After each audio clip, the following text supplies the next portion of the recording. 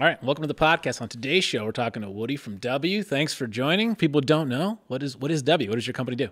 W is a better for you men's personal care brand for the Gen Z, Gen Alpha uh, in America. We saw a really big opportunity to bring a better personal care brand for this next generation of men. Mm-hmm. And I got to partner with Jake Paul to, to start this business, and W stands for win. It is all about getting the W, building confidence in young men, and starting your day literally with a W when you put on our product in the morning. That's a great tagline. So everyone was going to want to know how did you partner with Jake Paul? What was that like? What, what what did you see in the market? I think also right. So there's two things. There's one the Jake Paul piece, and probably the opportunity of what it might look like. Uh, it's a tough category. For sure. I was lucky enough about four years ago. Got I was I was running a big ecom business in New York City. Same line or uh, different. different. I was vertical? running. Okay. I was the head of e-commerce at Casper, the direct-to-consumer oh, sure. mattress yeah. business. Nice. And was kind of the young young analytical guy, done investing in private equity, but really loved getting my hands dirty and operating, and got to learn a bunch of different operating modalities at Casper and was friends with the investment firm in New York that backs a lot of the Kardashian brands. So that brought me out to LA. I got to be on the founding team of a brand called Safely that we started with uh, Kris Jenner. So that was my first foray into this crazy world full of LA. celebrity brands and full yeah. LA. Yeah, it was COVID, so it wasn't that full LA, but still, because of that, I was just, you know, I was the one one of very few young operators in the space who had celebrity experience, especially at the caliber of a, of a Kardashian, Kardashian, or yeah. a Paul. So got in touch with Jake and his business partner Jeff Woo when they were just starting to kick the tires on wanting to, to start a brand and incubate a brand with an anti fund. And we got to, you know, it was a couple months of dating. They were talking to a bunch of people, getting to know, getting to know me, getting to know them. But I think at the end of the day, they just liked you know, I love to get stuff done, and I, I, basically build them the picture. I was like, guys, this is how we're gonna do it. I already have the, you know, I have the, the branding playbook. agency, wow. I have the manufacturers, I have Walmart because we had launched safely in Walmart. Okay. Like, and at that point, I had realized okay. the real opportunity in CPG that I'm passionate about is can you bring better for you products to America? And I think the way to do that, there's no better retailer than Walmart. They just have the most scale. 90% of Americans shop there every week. Mm-hmm and that was that was how I got connected with Jake was because I was in this celebrity world and then also kind of their vision for what they wanted to start which was a mass consumer brand really aligned with what I was passionate about as well. And so when, when you were thinking about at least launching so you guys are formulating products. What do you come into the table with? How long are you in like stealth mode figuring it out? Are you going to launch just a deodorant? What's the data telling you around like this younger generation what they want, right? Because like I can think about Axe who developed the body spray. Yeah. Before that, I kind of grew up in that world where you didn't really see a body spray, so that was For a sure. brand new thing. Before it was like bar soap and and then body wash was a new thing. For sure. And so what is the Gen Z person? Is it is there a new thing or is it just doing it different? You know, I think what we're doing I, I think is really innovative in a variety of ways. First, the demographic we have that we can tap into because of Jake. His fan base, you know, I've seen people as young as six come up to him on the street. His fan base, I think of as 10 to 30. Wow. He really has that young male consumer's attention. And when I looked at the landscape and when we looked at the landscape of brands, we really didn't see a brand targeting that demographic. I kind of break it into a few different, I call it like the satirical lumberjack brands of the category. Okay, yeah. Your dad's brands. Like right. I, I used Old Spice when I turned 13 because that's what my dad used. Yeah. And I used it until I switched to W. and then there's also kind of like the genderless, kind of neutral brands that, you know, are really just about a very clean branding perspective. They don't really come with personality. And what we saw in this category is that there just wasn't a brand that resonated with that young male consumer because the brand you choose to put on first thing in the morning really is it's a persona you're identifying with and usually it's it's a brand you're you're a buyer of for life. Yeah. And so that was kind of the white space. Like Axe launched in the US in 2002. Okay. It was the hottest thing since sliced bread in middle That's school. so true. Yeah. And then it lost its cool. Yeah. Um, they didn't really evolve. And I mean, I, Old I Spice did too, but Old Spice did a good job of reinventing themselves. With Totally. a killer marketing campaign. Totally. I mean, Old Spice is, is a behemoth, but I think still it really it really targets that slightly older. Like I still think of Okay. that. You know, my dad still uses Old Spice. I think I think they haven't totally tapped into the younger generation, at least as we, we see it. So that's the white space you saw. That's there. the white, white space we saw. Yeah. And then in terms of product categories, we saw a really interesting opportunity. Most new brands that launch into the space launch at a premium. They and we saw a really interesting opportunity. And this was kind of a, a playbook we took from Logan at Prime. They launched head to head with Gatorade and priced themselves a cent below Gatorade. So when we started formulating our products, we just wanted to be at parity to the main main players in the category, so we can eliminate at least one aspect of friction when it comes to switching cost. Interesting. And then you can now What, like what is that dollar amount? Just curious on like a deodorant today. our deodorant today is priced for six ninety seven in Walmart. okay. And then from an ingredients perspective, and I, this was a learning from my last company as well, which is people say that they want kind of the all natural, super eco friendly products. But I think what we're seeing increasingly is that people aren't necessarily voting with their wallets when it comes to those purchasing decisions, at least not in mass America. Sure, Right? sure. The Whole Foods consumer all day. Erewhon for That sure, isn't yeah. Jake. You know, I think we all live on the coasts and I think too many people are making products for themselves that they will buy. And really, the opportunity to have a really big positive impact is to make products for America and for for Walmart. And so when we took took our product formulation approach, we just wanted to make better products. So we took out parabens, took out sulfates, took out artificial dyes. We took out a lot of these like really nasty things without making it all natural, but it's it's definitely better for you. And to me, that's a massive gift to society if we can make these products for like 30 to 50% better from an ingredient base at the same price like that's a massive impact you can have if you got this into the hands of 50 million people I do love on your website. It says like "Made in America," Yeah. minus the bald eagle or something. Yeah. What does that say? exactly. Yeah, and then Yeah. and then uh, under the uh, does it contain aluminum? It goes something like, "Yeah, dummy, it's the aluminum that helps Yeah, the it's aluminum FDA. that If it's good enough for the FDA, it's good enough for us." exactly I love that. When, Um, when you guys were going to launch, so so Jake, obviously well-known person, didn't know about the demo. That's interesting until he crushes the 10 to Yeah. 30-year-old person, boy, man specifically. Were you hesitant at all like what is this going to look like in terms of making him the face?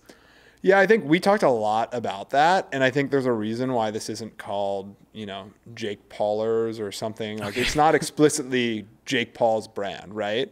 The brand is W. It has a very distinct brand identity, a really strong presence on shelf, and it's a very different approach than say like a Feastables, right? Uh, we look at Skims as kind of the best in class example of a brand that really leveraged celebrity firepower to raise brand awareness. But ultimately, Skims has really eclipsed Kim. Like on that customer adoption curve, that next cohort of That's customers that's buying Skims, Yeah. probably not a Kim Kardashian fan, right? That's true. Right. And that's that's what we're trying That's to build really with, with W. Jake doesn't want to be the face of the brand. He is he is the co-founder, he is the founder, and he'll be heavily involved in the brand. But we want really want the brand to take on a life of its own and ultimately eclipse him if we're successful. And we're starting to now bring on this month. We'll start bringing on um, and publicly announcing and doing content with some different people we're calling co-owners, people who are equity owners in the brand that are kind of winners in their own domain of life, but doing it their own way.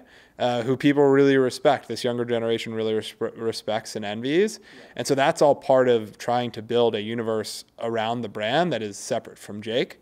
But Jake, he is one of the best marketers on earth he knows how to get attention and create virality and it's been really really cool. We like we always one of our internal sl- uh, slogans as a business is we different and we're trying to do things differently than other brands which i think you saw from and a lot of this is you know it's very much jake's dna and he leads a lot of these ideas. Like when we launched which i think we're probably the first brand to still do ai deepfakes at scale but when we launched we did we did these viral deepfake videos Okay. that went absolutely crazy. It got us well over 100 million impressions on the internet, where we'd send these deepfake videos to people, and it was them talking to themselves from the future, where something really bad is going to happen unless they start smelling better. And it was it was wild. It really took the internet by storm. and then awesome. you know the next month we do a punching machine for Jake's fight, where you can go punch Jake Paul in the face. That gets another 100, 200 million impressions.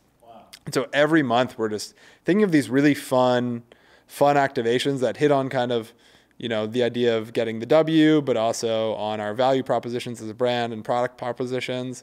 And we have an amazing creative director who just really can riff on these ideas with Jake and bring them to life. So it's just a lot of fun working with him and he just he understands how to create brand awareness and like we have this brand awareness tracker that we take a random survey every month of the US population and it's been awesome to see like I think we just hit 9% aided brand awareness in the US in f- less than 4 months as a business and I like that has to be a It's record crazy. Yeah. like I know brands that have been around for 10 years that don't have that. Sure. So that's just the power of Jake Paul and I think what he brings to the brand and and we're really trying to build the brand so it can evolve beyond him. So And- when you when you're working with like Walmart, so in some degree like they're the retail giant, they know the game, Yeah. blah blah blah, and to some extent they understand what products are needed or, or what the consumer is wanting. Yeah. And so you guys are bringing Jake Paul in with this brand awareness metric.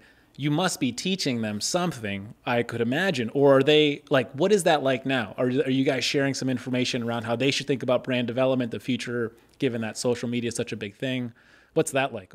Totally. Yeah. I mean, I think one thing we've done a really good job of, like, we, we specifically didn't launch a D2C business for, for W. We went retail first all the way. We probably will launch a D2C business eventually because our price point is so affordable, it just doesn't make sense.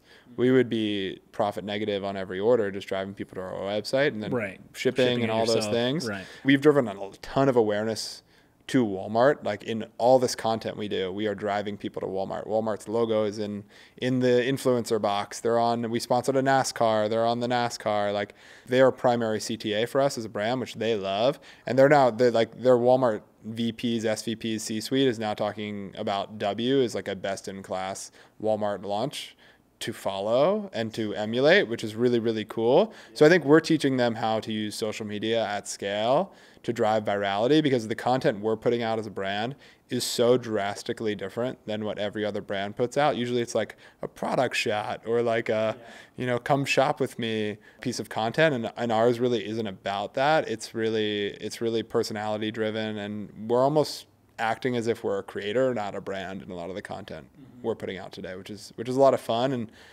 they're learning a lot from that because it's just a super different approach than a lot of these other 100%. brands. One of the things I want to ask you, like, talk to the younger entrepreneur, right? So the entrepreneur who's just starting. So you come in, you have your relationships, you've sort of done it before. You've worked with Kris Kardashian a little bit, so it earns you the right to be in a different room. Yep.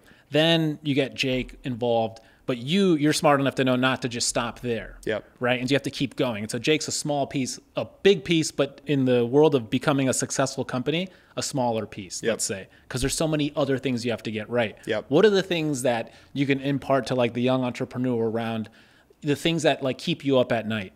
What are those? Yeah, I mean. I, I think there's a bunch of fundamentals of business. I'm super like I was fortunate enough, although it was an absolute grind to start my career in investment banking and private equity investing. I learned the fundamentals. I think the numbers are everything, right? I think one mistake a lot of entrepreneurs make, and this was the first thing we did at, at when we started working on this project, and I think for most people it's the last thing. We start we focused on price point and cost of goods sold.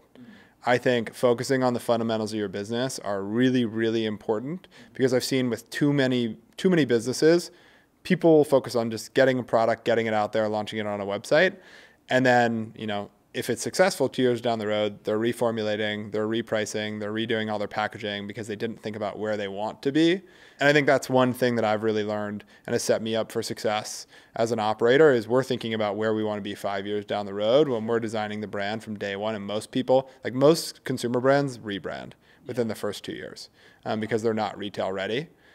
And so that's one thing we really, really focused on from day one.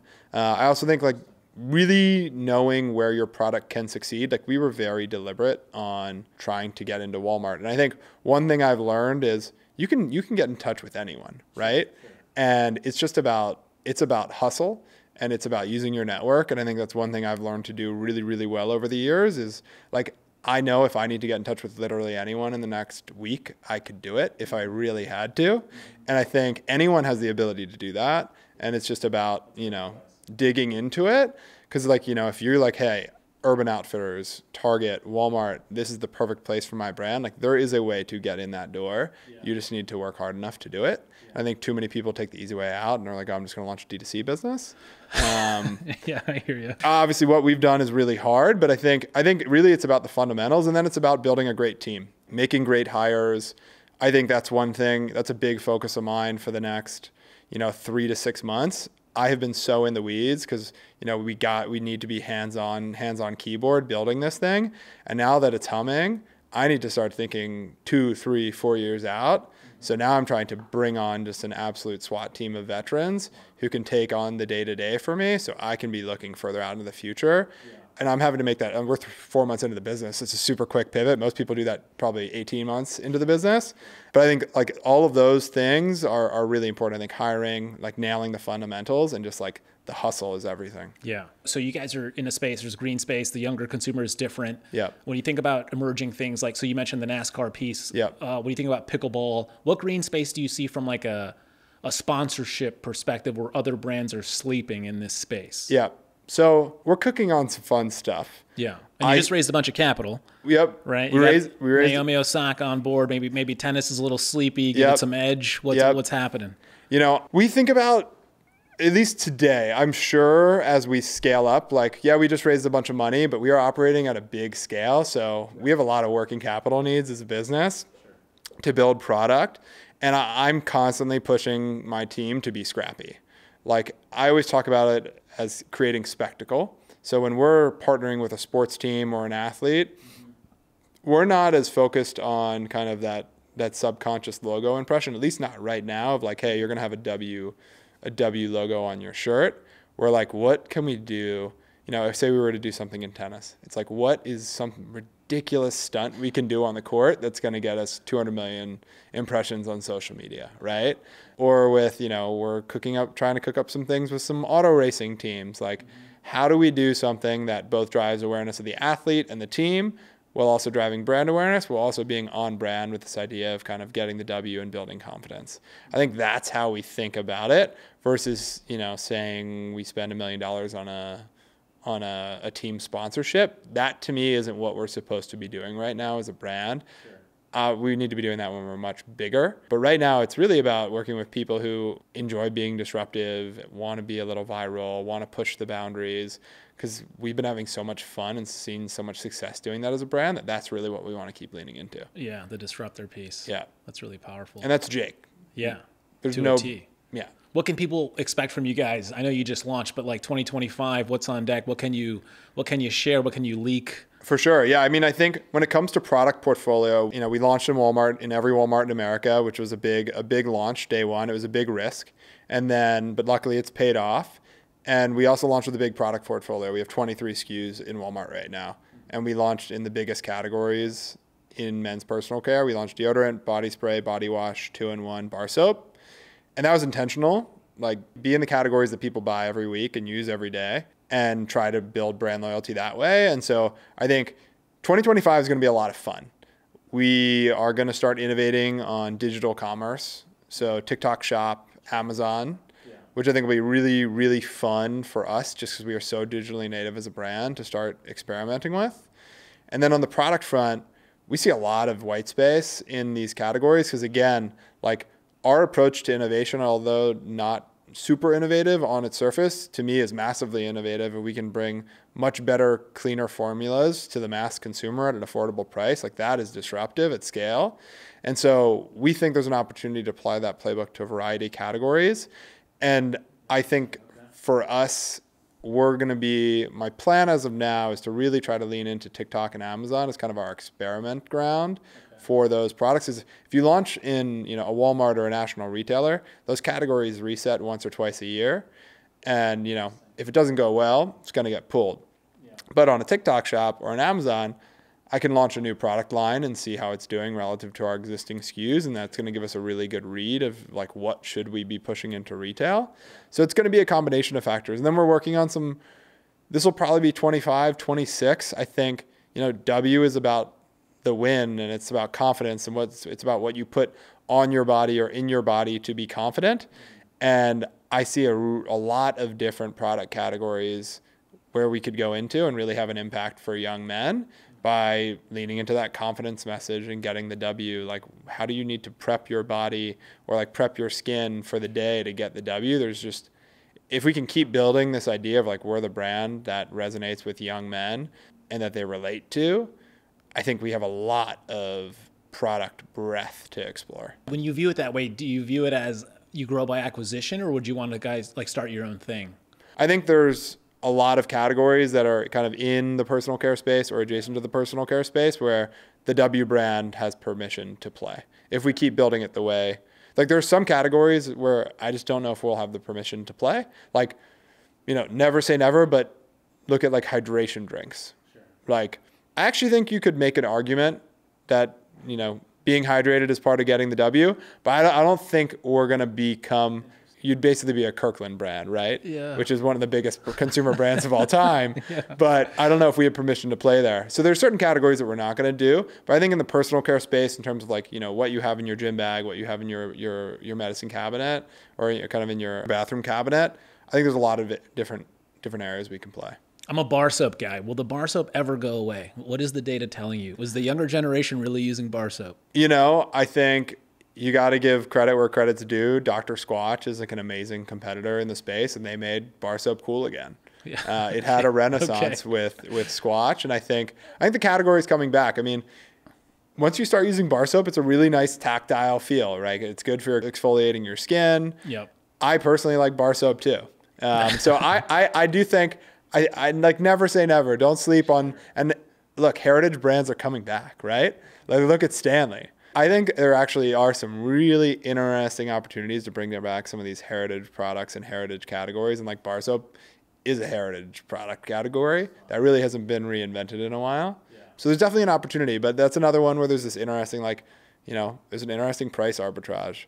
Uh, like a Dove, a bar, a bar Dove soap's pretty, pretty darn affordable but the industry has really gotten people to trade up with with with body wash. So where can people shop today? Walmart. Where else can they find you guys? Yeah, so we that is where you can find us. We're in 4,300 nice. WalMarts across America. You can also buy us on Walmart.com, and then probably right right before the end of the year, we'll be start being available on TikTok Shop and uh, and Amazon, and we'll really push Amazon out in a big way in Q1. Woodie, thank year. you. Thanks for joining the pod. Yeah, this was awesome. Thank you for tuning in. If you enjoyed this episode, share with your friends, your family, or anyone you might think might benefit from the conversation we've had today. And if you haven't already, please take a moment to leave a review on your favorite podcast platform. We'd greatly appreciate it. Your feedback helps us improve and reach more people who can benefit from our discussions. The best way to stay connected with us and get the latest updates on future episodes is through our social media channels. You can find us at Startup Storefront. We'll be back next Tuesday with another great episode. See you then.